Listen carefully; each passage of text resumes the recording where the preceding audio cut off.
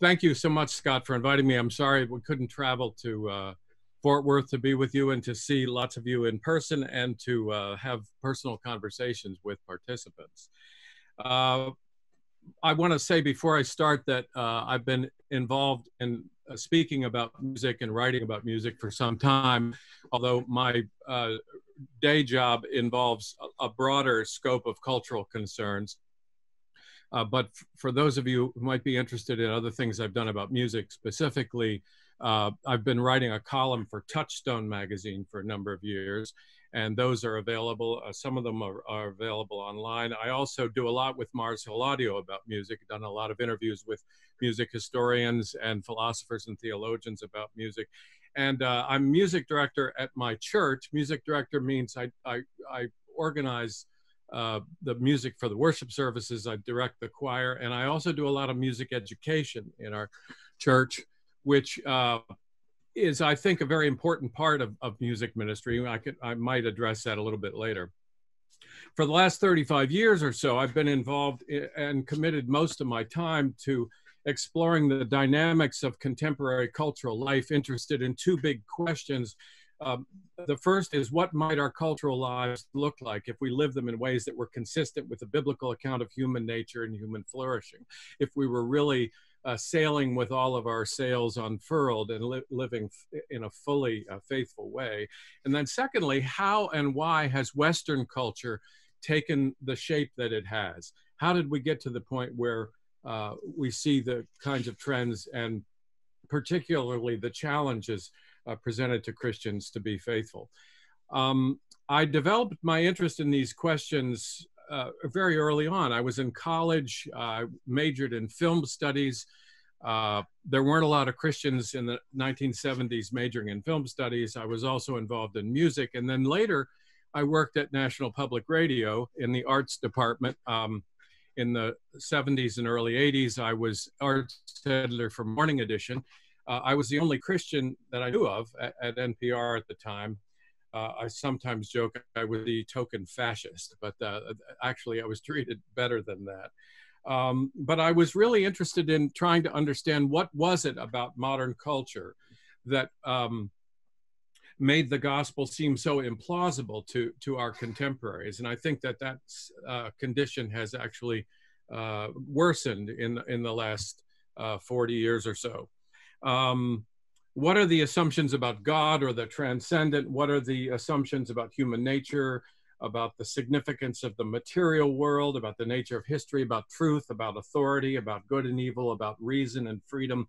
What are the deeply held intuitions encouraged by our cultural institutions and by the patterns of everyday life about these things that stand in the way of, of Christian profession?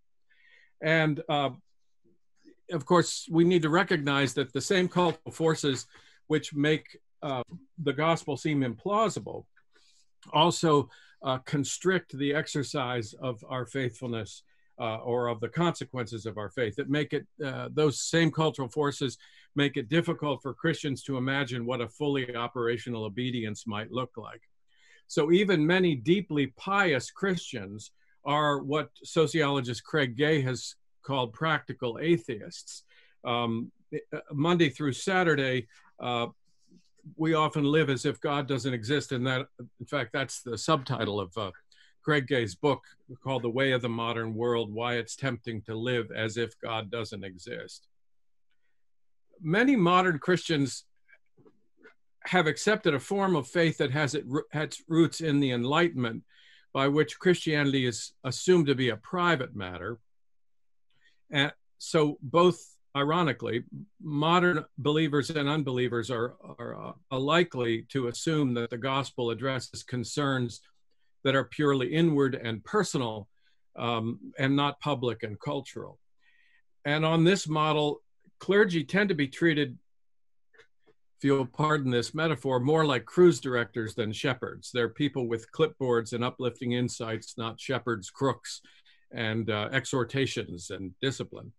Uh, clergy are, are handily available to make the lives of their clients more pleasant, but not intrusively to exercise directive nurture and discipline. That situation, which many clergy might find uh, actually an accurate description of how they feel they're treated. I talked to one pastor who said he was treated more like the pool boy uh, than, than, a leader in his church.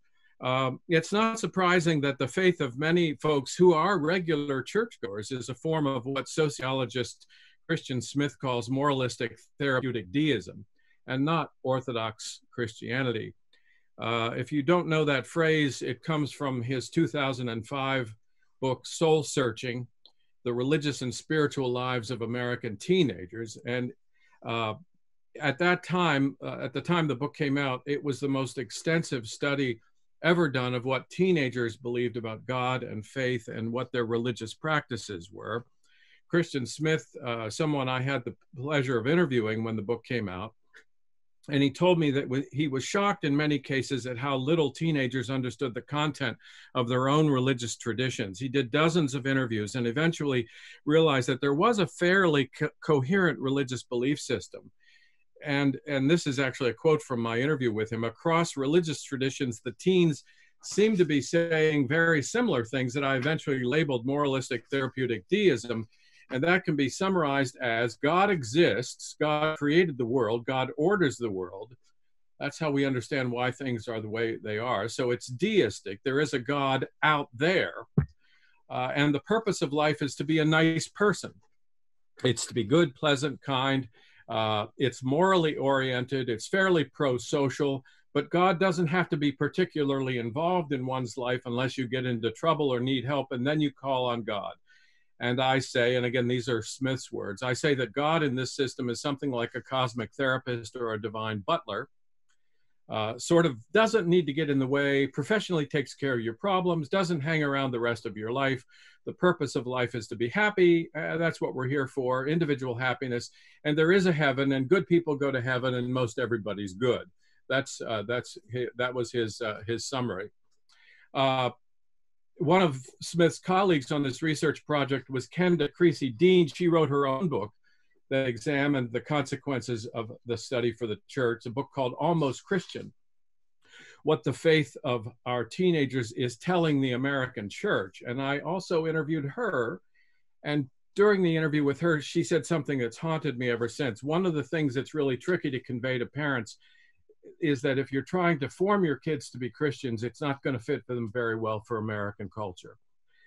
Uh, it's a lot easier, she said, to raise kids who are what she calls Christianish, uh, who are capable of affirming a few central beliefs but have very little consequences in their lives shaped uh, decisively by those beliefs. And she quoted philosopher James K.A. Smith, who observes, quote, could it be the case that learning a Christian perspective doesn't actually touch my desire? And that while I might be able to think about the world from a Christian perspective, at the end of the day, I love not the kingdom of God, but rather the kingdom of the market. Now, both Smith and Dean and his colleagues argued that uh, young people are moralistic therapeutic deists or Christianish because their parents and their churches haven't done an adequate job discipling them. Discipling them. And my own view is that American churches have typically not done a thorough enough job in converting people away from the assumptions about reality that are embedded in modern culture. And uh, I say that based on the conclusions of, of, a lot of people smarter than I am and, and, and, and better connected to the life of the church than I am, people who I've had a chance to, uh, to, to interview for Mars Hill Audio. And I think that one reason for that pattern of failure in discipleship is that the comprehensiveness of Christ's lordship hasn't been affirmed robustly enough. Um, when the gospel is first announced, it's depicted as the arrival of the comprehensive rule of Christ the King. The kingdom of God is at hand. And when Jesus teaches his disciples to pray, he instructs them to plead with the Father that his divine rule be made as evident on earth as it is in heaven. And then when Christ commissions the church just before he ascends to be seated on a heavenly throne to rule all things, I like to point out he's seated at the right hand of the Father to rule, not to relax. This is not some celestial Barcalounger that our Lord uh, uh, resides on. uh, when he commissions the church just before the ascension, he declares his authority over all things in heaven and on earth. And the task that he gives his disciples is to make more disciples, not just converts, teaching them to observe everything that he's commanded. And he's the ruler of all. So the Great Commission is actually a comprehensive commission. It's not just get people saved, get them to heaven. Uh, um, it's and I think that's the beginning for how uh, of how the church should think about uh, our cultural lives. Um, our engagement with cultural matters should not be pursued just for the sake of designing tactics uh, to communicate a narrow message that encourages belief in just a few claims about sin and grace. Uh, if that's the case, um, then we're ignoring the, the thrust of the Great Commission. The church has the mission of enculturating its members into a way of life that is the way of the kingdom of God. Um, in Paul's letter to Titus, uh, Paul says that we should not just teach doctrine, but teach those things which are in accord with sound doctrine, uh, that the lives of every uh, of believers in everything uh, they do may adorn the doctrine of God our Savior. So it's not just a matter of teaching good doctrine, but it's a matter of, of uh, enculturating people into a way of life. Now, the way of life that most Christians, I think, uh, embrace is a way of life that's been shaped by, uh, by American culture. Um, and uh, th- that is increasingly problematic. Uh, again, one reason I think that we have a hard time in what I think of as whole earth discipleship is that we tend to uh, neglect the continuity between God's creation and the work of redemption. Uh, last Sunday, Western Christians celebrated the resurrection. Uh, and um, I, I think that when, when we remember the fact of the resurrection, one of the things that we should learn from the fact of the resurrection is uh, that um, our redemption does not involve the redemption from creation, but the redemption of creation. It's in a human body uh, that Christ is redeemed. Oliver O'Donovan, a theologian who's influenced me a lot in his book called Resurrection and Moral Order, writes that human sinfulness has not been allowed to uncreate what God created. Man's life is on earth is important to God. He's given it its order. It matters that it should conform to the order that he's given it. Uh, there's an order in creation that should inform every aspect of our lives. So striving to be faithful Im- implies striving to be faithful to Christ implies being faithful to the order of reality that's held together by Christ. And there I'm using a phrase from Colossians chapter 1. The means whereby we glorify God and enjoy Him forever is through engagement as embodied souls with the material world in all of its diversity and specificity. We're not created to glorify God and enjoy Him forever in a purely mental trance like state, but as we care for the world that He's made and a world in which He delights. Now, uh, so the church really needs to, in its discipling vocation, uh, needs to discern between cultural forms that do justice to the order of creation and those that don't. It must encourage its members to go beyond belief in key doctrines and be, beyond just mere morality. Um, and to uh, order their lives, their ordering of time, their habits uh, in embodied activity, uh, in how they uh, use language, uh, in economic matters, in politics, all of those ways uh, fittingly honor not just the law of God, not just what has been revealed in Scripture, but also the order that's present in God's creation. Now, let me say a few things about music ministry in light of this whirlwind introduction to the notion of discipleship. Um, a number of years ago, I was speaking in a church uh, and uh, I was teaching a Sunday school class, actually. I stayed for the worship service. The pastor took me and a few of the elders out to dinner or uh, to lunch after after the service, and in the car on the way to the restaurant, the pastor asked me what I thought of the worship service. And I had been intending on not making any comments uh, about the service, mainly because the music had seemed, uh, well, uh, infantile, I'm afraid to say. And I paused to collect my thoughts, and then I offered what I thought was a charitable and generous appraisal. I said, It's sad that the level of musical knowledge in our culture right now is so low that churches have had to dumb down their music. Now, this uh, maybe dumb was not the best verb to use in that setting, but I was really surprised at the vehemence of his response uh, it was clear that he thought that music wasn't the kind of experience that lent itself to the category of intelligence, one way or another. Music was irrational in this pastor's view. It was something that was incapable of objective assessment. Um, and we spent about an hour batting this question around in a relatively friendly, Christianish sort of way. And the thing that impressed me most uh, about the conversation was that this pastor really knew next to nothing about music. He confessed to that fact. But he believed that he was qualified to make bold statements about the nature of music, as qualified as if he was a Yo Yo Ma or someone. Now, I think it's fair to say that his assumptions were more in keeping with the spirit of the age than with historic Christian thinking about the nature of music. Uh, the nature and the consumption of music today is generally assumed to be an expression of something that's deeply personal, instinctive, and beyond thoughtful discipline, and Christians typically believe about music the same sorts of things that their neighbors believe. Um, if we look at the history of the church's thinking about music, we see very different sets of assumptions.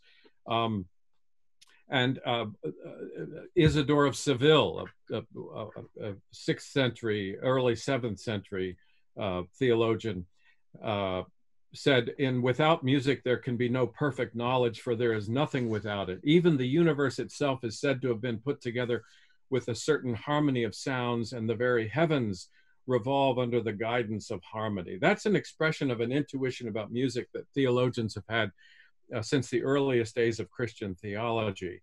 Um, uh, today, music tends to be treated or regarded, again, more as a personal thing, and within churches, it's often treated as a marketing tool uh, not a reflection of, of, of, cosmic order. Clement of Alexandria in the early third century expressed a view that was typical of patristic writers in urging believers to seek out musical experiences that echoed the melodious order and harmonious arrangement of the universe. Like other theologians of the early church, Clement believed in a fundamental relationship between the oral harmony of music and the harmonious arrangement of all of creation as ordered by the Logos, by the Word of God. Good music wasn't just pleasant sound, it was a window into transcendent reality. And as Clement put it, Christ, quote, composed the universe into melodious order and tuned the discord of the elements to harmonious arrangement so that the whole world uh, might become harmony. Uh, I would uh, encourage you all to, if you're not familiar with how the church has understood music historically, many of you probably have read in those early sources. Um, uh, Calvin Stapert, uh, who, who, taught for many years at, at Calvin College, uh, taught music there, has, has compiled a number of their ideas and called A New Song for an Old World, Musical Thought in the Early Church. Now, the view that I've outlined or suggested uh, very cursorily uh, is a very extremely uh, unpopular view today, I realize. I take comfort in Flannery O'Connor's statement, uh, you shall know the truth and the truth shall make you odd. But let me conclude with six propositions about music that I think could serve as reference points in thinking about what, uh, how the church's discipleship can repudiate uh, moralistic therapeutic deism. Uh, first, to recognize that music is a unique gift of God. It has the capacity to represent and in some way enable us to participate in the order of God's creation. It's not just a mode of personal expression, it's a way of knowing something about objective reality. Uh, uh, and uh, it addresses the body, the intellect, the imagination, and the emotions in a uniquely powerful way. Uh, it's a great and powerful mystery, something I would argue that unites uh, heaven and earth. And every Sunday in my church, uh, we say before we sing the song from Isaiah, Holy, Holy, Holy, we affirm that we sing praise in union with angels and archangels and all the company of heaven. Uh, second, like all of God's good gifts, music can be corrupted and abused. Musical forms and musical practices aren't neutral. Uh, they are made uh, they are not made worthy or unworthy simply by our intentions or by the words that we attach to music. A third, modern culture has significantly disordered our musical practices, uh, not as a result of some vicious conspiracy, but as a consequence of a host of other cultural developments that have uh, that, that are tied really to philosophical and theological assumptions in our culture, and that that disordering prevents us from perceiving the fullest capacities of music. Uh, fourth, and this is related to the third point, the disordering of our musical practices has an interesting resonance or analogy with other disorders, notably uh, the three that I like to identify are how we treat language, how we treat food, and how we treat sexuality. Now, it's obvious that Americans are confused about the meaning of sex, and I claim that they're just as confused about the meaning of music and for a similar set of reasons. Uh, the cultural forces that have misguided our engagement with the gifts of food and language have similar effects uh, on our engagement with music. All four of those things language, food, sex, and music are gifts of God that orient us bodily toward God Himself, toward creation, toward our communities, and toward our own created our identity. Just as jargon and propaganda corrupt our experience of language, just as convenience and commodification spoil our perception of the meaning of food, uh, just as pornography, hooking up, and the exaltation of preference pervert our understanding of sexuality, so I would argue a similar set of cultural forces has cut us off from the power and the nourishment and the beauty that's available uh, in music. There are likenesses among those sets of disordered practices. Christians worry a lot about disordered sex, uh, but they don't tend to focus as much on the other three. Uh, they might focus on food or language, but again, music tends to be something that gets a kind of free ride uh, in our culture. Fifth, because music has such a powerful capacity to engage the whole person, uh, its disordering, I think, is tends to be accompanied by a defense mechanism that resists reform. Uh, if you challenge someone's habits with regard to food, for instance, or um, how they treat language, they might accept an exhortation. But it's easy, it's so easy for us to become so thoroughly identified with our musical preferences that um, that any effort to improve taste is regarded uh, as uh, as that pastor indicated to me, uh, either as nonsense or as a kind of expression of a of a uh, a terrible elitism. Uh, and then last, um, if we recognize that discipleship is a process of formation of the whole person, then we can't avoid addressing the ways in which the practices of music form our hearts, form our affections. Disordered musical practices make us love things that we shouldn't while depriving us of opportunities for delight in the best that music can be. Uh, the unique nature of music enables it to shape our affections and dispositions with an unparalleled power. And as a result of that, philosophers and theologians and teachers long believed that the shaping of musical taste was a significant part, in fact, a foundational part of, of moral formation. But for a host of reasons, the mid 20th century witnessed a remarkable abandonment of that concern. Uh, so, music is typically, and musical affections, musical preferences, uh, are now typically regarded to be uh, self uh, self uh, authenticating, uh, and any effort to shape taste is regarded as again woefully elitist. Uh, in conclusion, uh, I just want to summarize the experience of music, and I'm sorry to whirlwind. I'm sorry about the technical problem earlier. I hope it doesn't happen again. The experience of music for most Americans has, for the past 50 years, been shaped decisively by a set of cultural ideals which uh, which bring together many of the troubling aspects of modernity more generally. Uh, music and the practice of modernity has suffered and been deprived of its highest possibilities. But the church's work of discipleship has, from the beginning, faced challenges from the surrounding culture. Many of the epistles of the New Testament testify to the fact that, that the church has always been uh, countercultural in its ministry.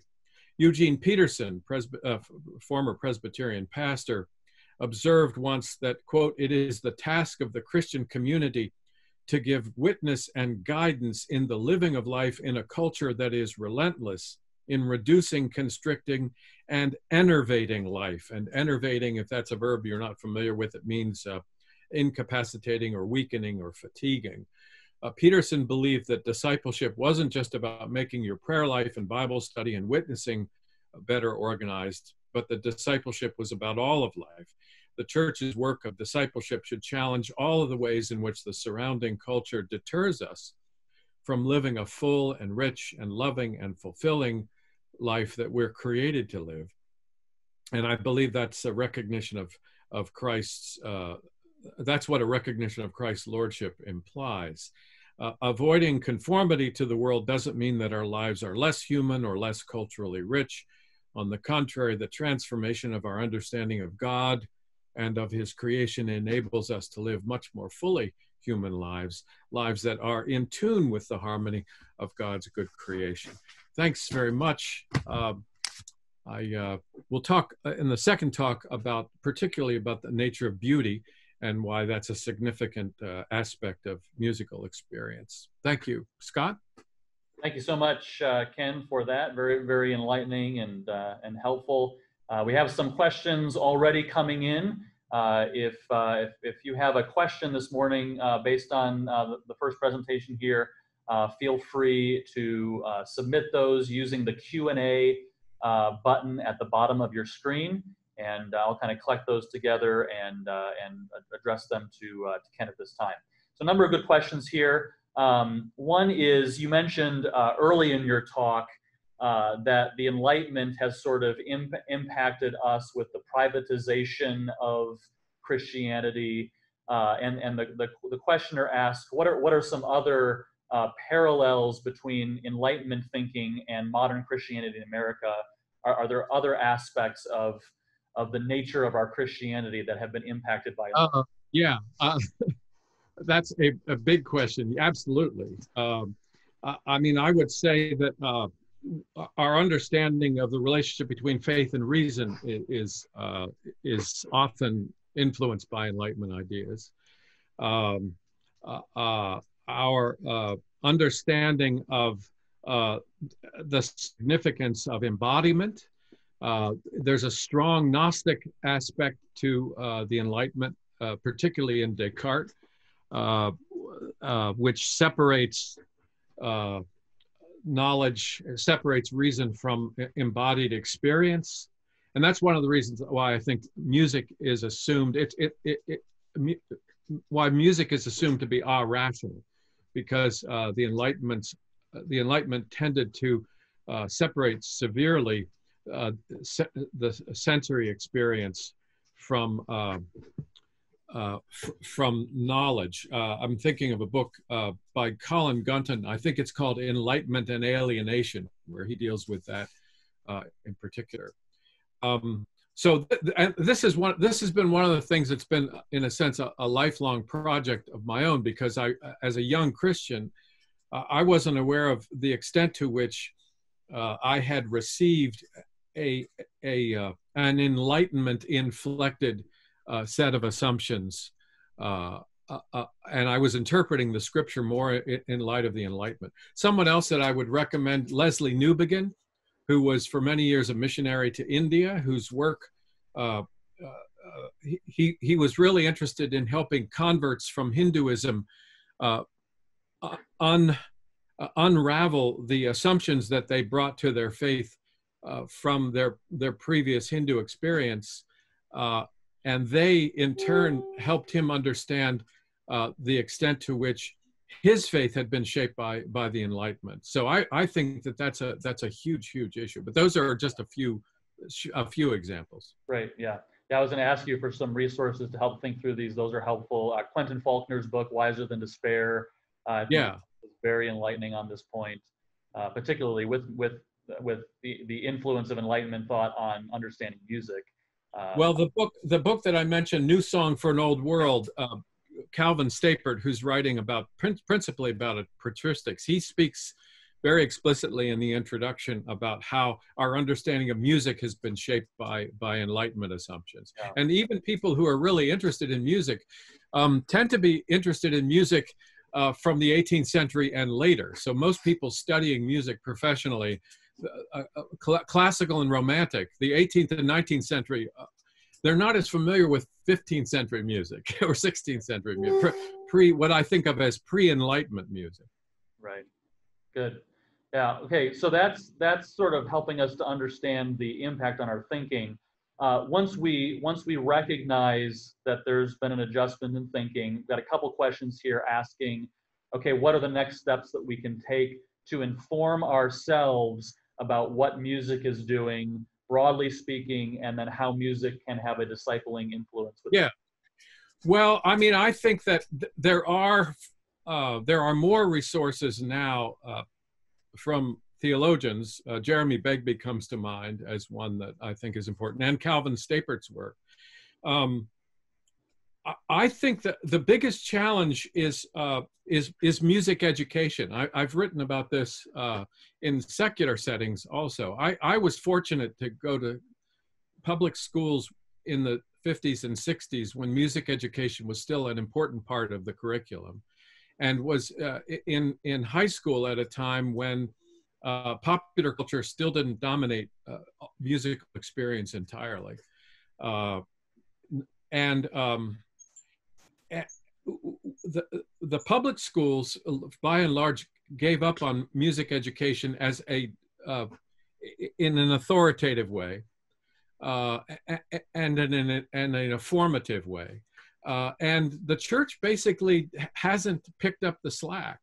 Uh, I often I often suggest that if if schools stopped teaching reading, um, churches would start teaching reading uh, because they, they would realize that um, if people are going to be good disciples, they need to be able to read the Bible. This is why Wycliffe Bible translators exists. Uh, and so, um, so I think that uh, that at, at, the local congregational level, to to begin um, uh, music education, not not not musicology education, but music education, uh, I think it should start with clergy. I think, you know, Luther was great on this. Luther felt that if a pastor uh, didn't understand music, he, he shouldn't be a pastor. and uh, and it's, it, I think that it's actually, um, I think that seminaries should make sure that there's a strong uh, component, and um, your seminary may do this for, for MDiv students as well as for music ministers.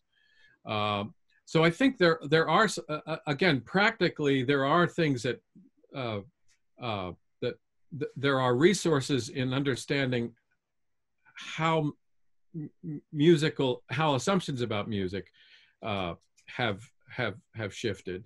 Uh, again, I, I I'm sorry to promote my own work, but I've done interviews with quite a few writers over the years on music at, at Mars Hill Audio. Um, but I think that the biggest challenge congregationally is probably persuading people that that um, that their assumptions about music that they've already embraced assumptions about music that they've absorbed and what they believe about music isn't just common sense or just what what everybody has always believed. So again, that's why I think music education, with some music history education, will be important uh, in local churches. Yeah, that's good yeah, you, you, you, you answered several questions that are coming in. People are asking about, okay, how should this influence music education? How can we help our pastors? And, and your comments there about pastors getting yeah. training in worship and music is, is, uh, is really, really helpful um, in, uh, in, that regard as well. Uh, it, beyond, in terms of, of teaching the congregation, you know, music education centrally, uh, are, are there any uh, places in scripture or even church history that you would suggest starting to help the congregation understand the significance of music in their own lives uh, uh, and, and kind of help to yeah. disciple them in that way? Well, again, I, I would, um, I'm going to refer to some of those biblical passages in the second talk when I talk about beauty. Um, I, I, again, I would recommend uh, Calvin Stapert's work and Jeremy Begbie's uh, resounding truth. Uh, uh, let me add one one other thing here, and this this may uh, this may be ch challenging to, to people. Um, one of the one of the other effects of of the Enlightenment, I, I mentioned that was separation of reason from faith. Um, that the Enlightenment also uh, has had the effect of drawing a deep wedge between theology and philosophy, uh, and uh, it's very difficult for contemporary Christians to to think in terms that that interweave uh, philosophical and theological practices and, and, and perspectives.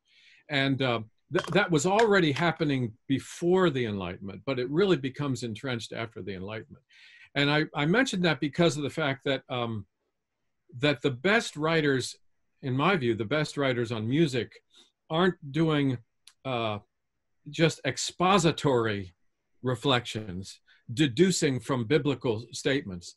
They are taking biblical concerns and combining them with, with philosophical ideas uh, and interweaving the two. And that's something that a lot of Christians are uncomfortable with, but I would suggest that um, that, that uh, fracturing of, of, of, uh, of those two approaches, the purely exegetical deductive approach and the more uh, speculative uh, approach, I think that that suspicion is also one of the effects of, of, of the Enlightenment. So uh, I, I, say that because a lot of the people who write best about music, they're not just doing uh, exegetical deductions.